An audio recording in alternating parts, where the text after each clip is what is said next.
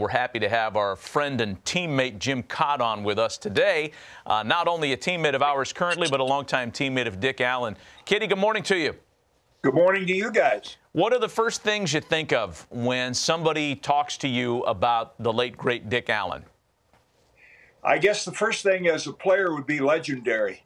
Uh, he did things on the field that were, I mean, I could fill up the next half hour telling you guys stories about stuff he could do. The wind would be blowing in at Comiskey, and everybody'd say, "No, you hit one out of here today." And of course, Dick with that famous Sports Illustrated cover picture with his helmet on, smoking a heater, he'd look at me and he'd look at me and wink, and he'd hit one right through the wind. But in addition to the great uh, times I had on the field, uh, I, I just had so much fun with him. Our interest in horse racing, and I think the way we really came together, I was so honored and still am that he picked me on his all-time uh, teammate list as a left-hand pitcher because not because I rivaled Bob Gibson, who was the righty, but he loved guys that threw strikes, worked fast, and played the game the right way.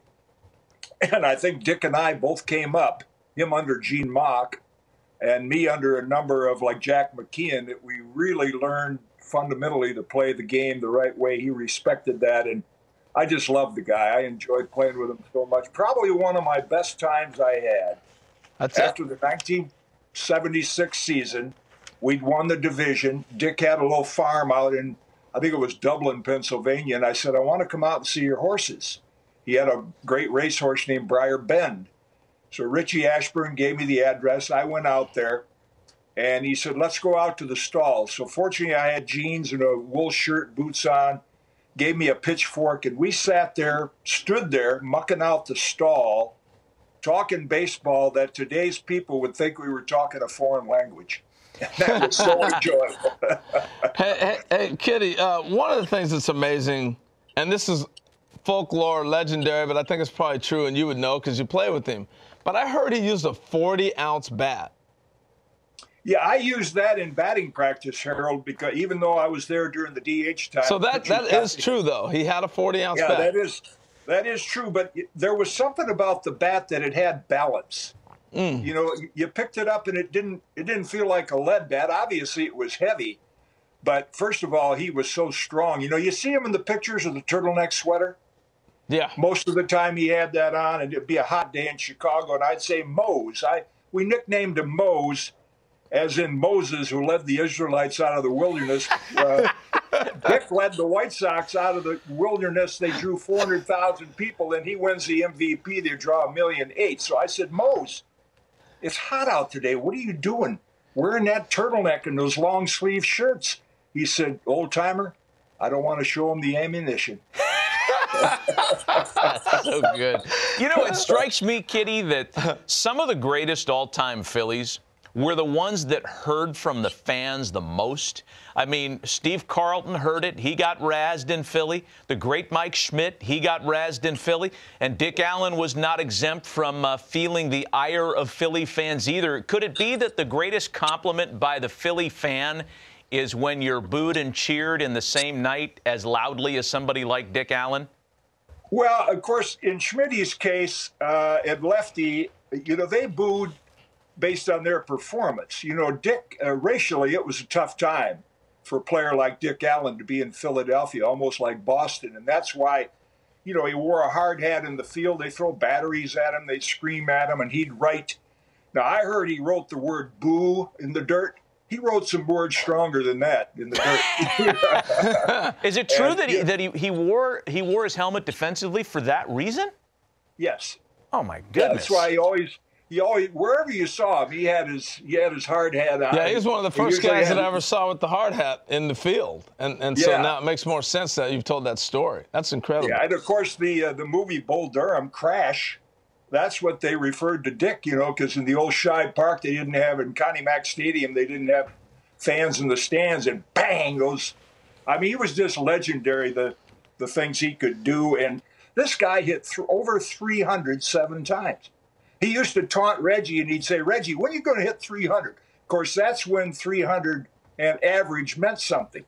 And, and the things he could do, like uh, I, I heard uh, your previous guest, Ross Atkins, talk about arms, hands, and feet, and that's what Dick had: quick feet, strong arms, quick hands, and uh, the things he could do on on the field.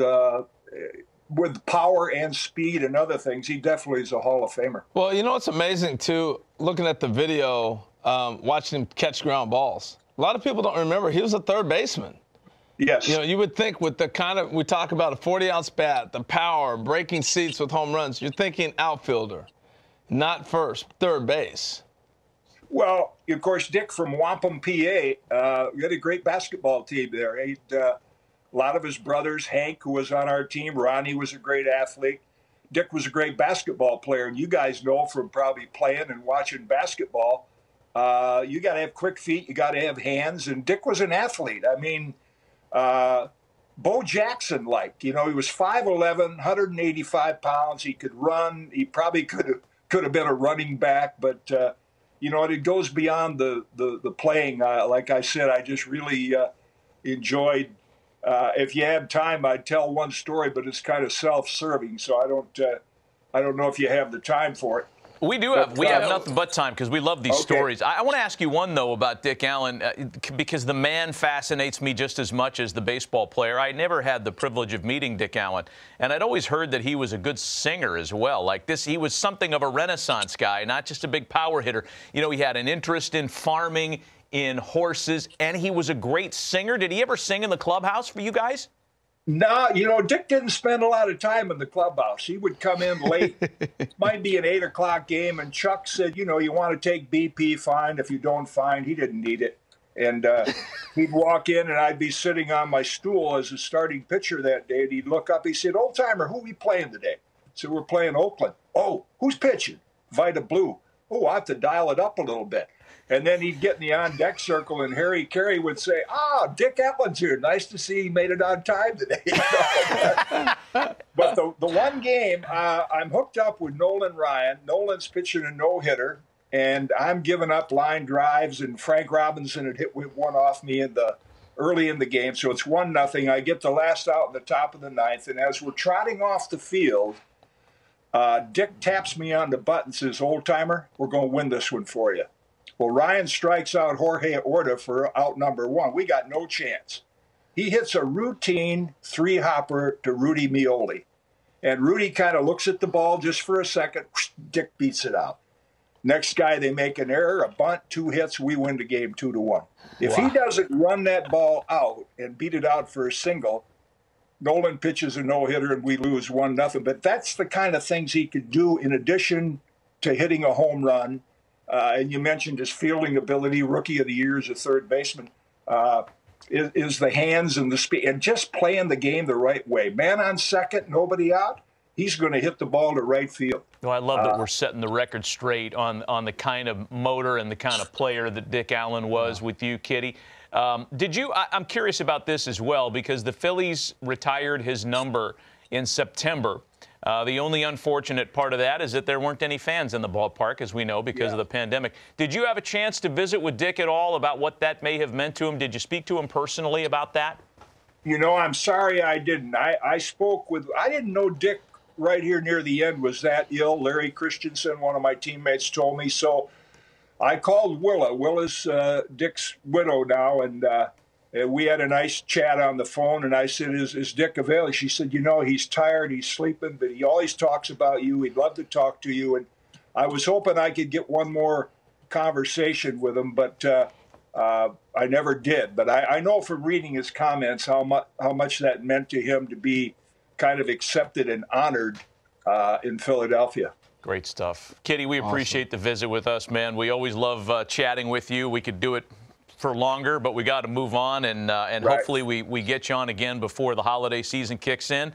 Thanks for the visit today, and uh, and if we don't talk to you beforehand, happy holidays.